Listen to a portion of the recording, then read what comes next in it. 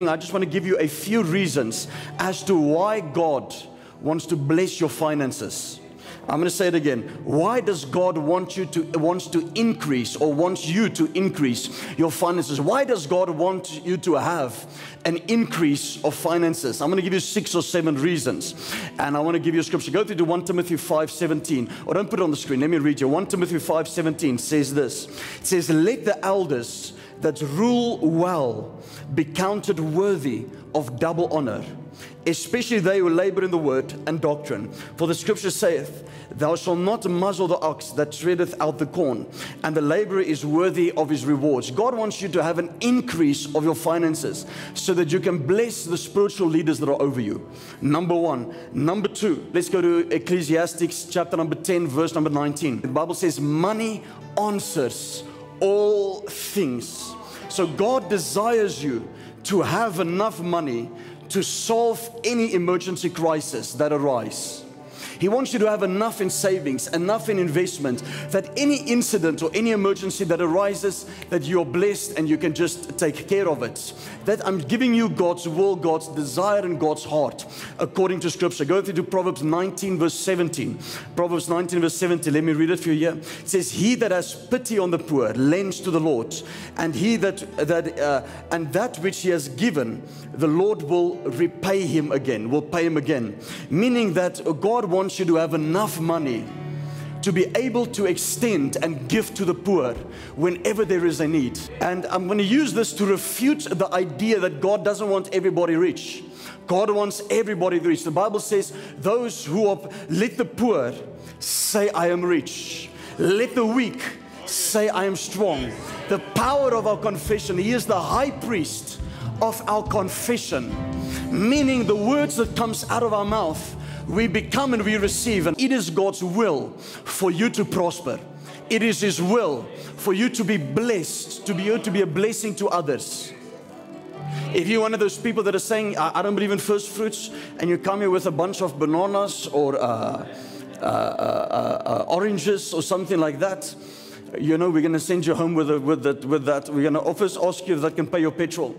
And uh, now I'm joking. People try to try to spiritualize the Bible or they try to take it out of context because, you know, uh, have you ever realized people, those that have complaints or problems are the ones that never give. And the ones that give, it's not like they don't have problems, they have problems. But there's something that has been planted that caused them to move and to grow and to go for, that they don't see the problems or they just overcome them. Are you guys with me? One of the greatest signs of faith, one of the greatest characteristics of faith is a seed, is giving. Because you literally say, God, I trust you with a thing that I need to bring life to me, the substance, the substance that brings sustenance to me, I give it to you and I trust you with it. The greatest act of faith is the act of giving. We see this with happening with Abram. We see God doing what Abraham did. We see Abraham giving up his only begotten son, God giving up his only begotten son as a seed. So go to Matthew 7 11. Let me read you Matthew 7 11.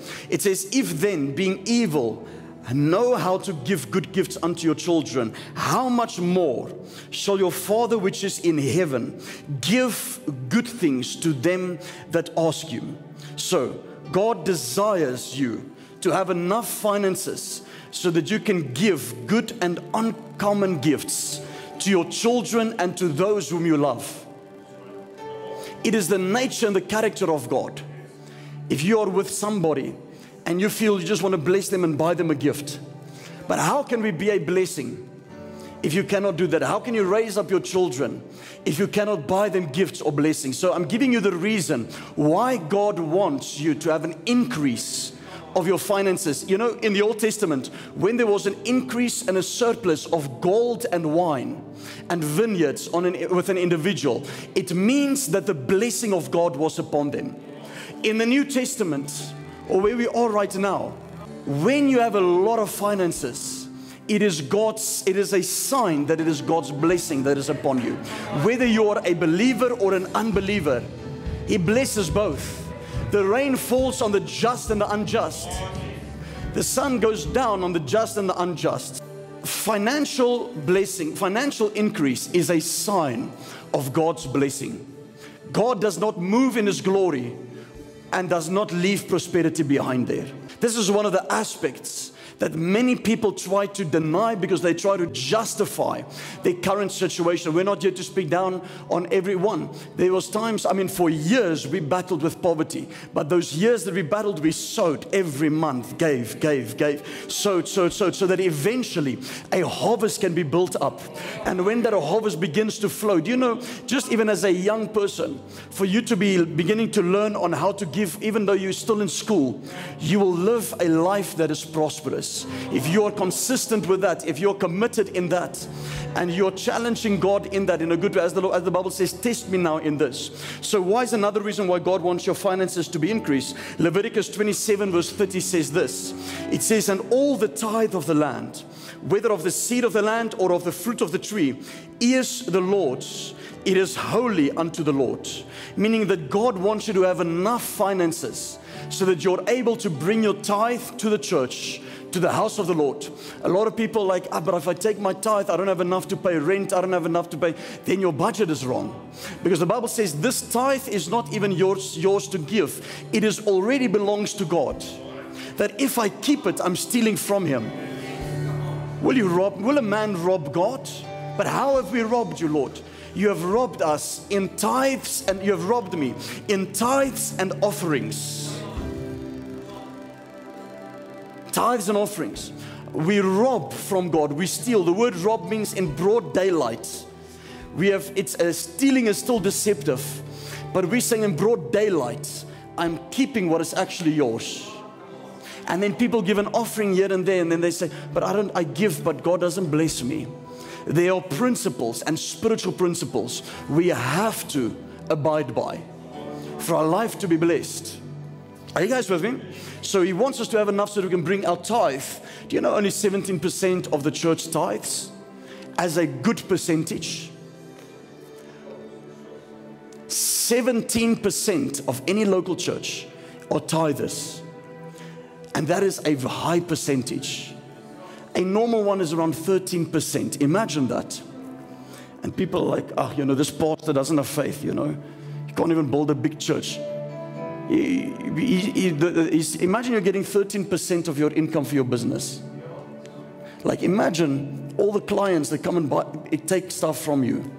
They only, only 13% of them are paying. All the others have stolen. They stole the word, they steal the food that you're giving the spiritual food. And then we wonder why there cannot be revival. 17%. Imagine what can happen once that goes to 100%. It never will, of course, but imagine what can happen. The nations would be saved in one day. The Bible says, Can a nation not be saved in one day? Shall the Lord not do this? Can a nation not be saved, turned around completely in one day? How shall they hear? How shall they believe unless they hear? How shall they hear unless somebody is sent to them to preach? How shall somebody go and preach unless they are sent? The Bible says. Okay, are you guys with me? So it is there to give us tithe. Then we go to Matthew 22, verse 21. The Bible says, Render therefore unto Caesar the things which are Caesar's, and unto God the things which are God. God desires you to have enough money so that you can pay your taxes. He, meaning, I'm giving you scriptural references to tell you that God wants you to have an increase, a surplus in a lot of finances, that you can be a walking, talking blessing to everyone. Romans 10, verse 15. And how shall they preach except they be sent, as I said now? As it is written, How beautiful are the feet of them that preach the gospel of peace and bring glad tidings of good tide, uh, bring glad tidings of good things. God wants you to have enough finances and to be increased in it so that you can give to the work and to the gospel that is being preached beyond the local church, such as a broadcast ministry or a traveling ministry, or if we travel, we go and do crusades, or as we do church planting. And the first one that I read, God wants you to have enough so that you can bless those spiritual leaders that are over you, that are laboring in the word, that are, that are uh, the Bible says, that are worthy of double honor.